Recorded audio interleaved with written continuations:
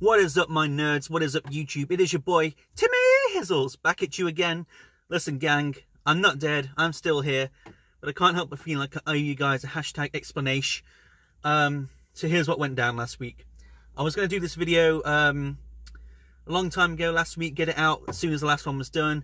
Did that epic video last time with the uh, mashed potato. Uh, went really well, smashed it out. Um, a few hours later, found myself feeling kind of queasy. Next thing I know, I'm throwing up. I'm on the floor. I'm passing out. I was out of commission for like four days, my gang. So, um, yeah, sorry about that. Nothing could be done. Still don't know what that was all about. Probably some sort of bug that was going around. But uh, I'm back now, and I'm ready to carry on better than ever. So, my gang, here is today's offering on food for thoughts, episode 3. Salt and shake crisps. Uh, not gonna lie to you, gang. I have had these before, but it was a very long time ago, so I may as well be a noob. Um, I know what you're thinking. What? Really? Salt and shake crisps? That's a bit uh, mainstream, a bit lowbrow for a show like this. Well, you're right, but there's a reason behind this. Because I'm an influencer, and I don't want to get onto my pedestal too much. But we have become a society that has moved too far away from the preparation of our own food. Okay? We let the slaughterhouses do the dirty work because we don't want to see how the sausage gets made. Now you can order food to your door, and we're losing that hand-to-hand -hand moment with the food, that preparation. And that is what these guys have tried to do in some small way. We're not just mindlessly chomping, we're making these crisps up ourselves. That is the hashtag message I'm trying to promote with this.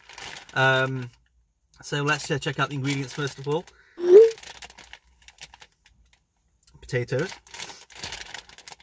Okay, so um, this have got instructions on it. It's like three sets of instructions. Gang, we're all smart people here. We don't really need instructions on how to make our own crisps, do we? So come on.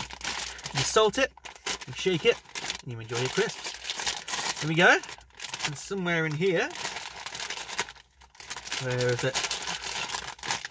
Should be little, uh-huh, right at the bottom of all places, little sachet of salt make your own crisps.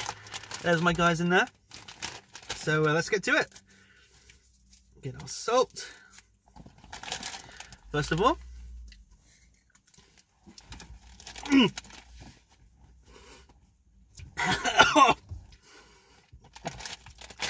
I'm not gonna lie, gang. That was not pleasant. I really hit you hard. That's. And shake. I don't know what this is meant to do. I think it activates the starter or something. Then we enjoy crisp. Mm.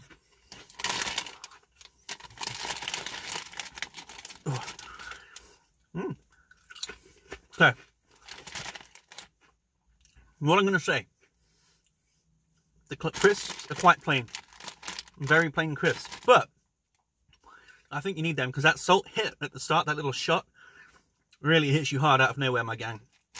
It's strong stuff. Can't say it was altogether pleasant. So this is actually quite the cool down. It's like drinking a margarita. You get the salt rim, hits you, and then you enjoy the drink. The salt, I'm not going to lie, wasn't a fan. But these are, are all right. Plain, they're all right.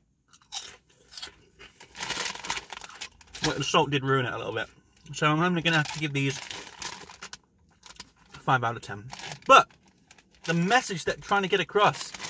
We're not just walking around shoving stuff in our faces. But this is, we're making these ourselves. And that was an experience.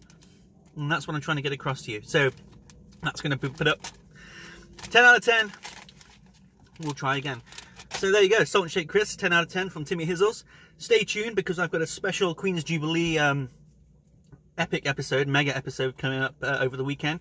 It's going to be awesome. Stay supple, my gang.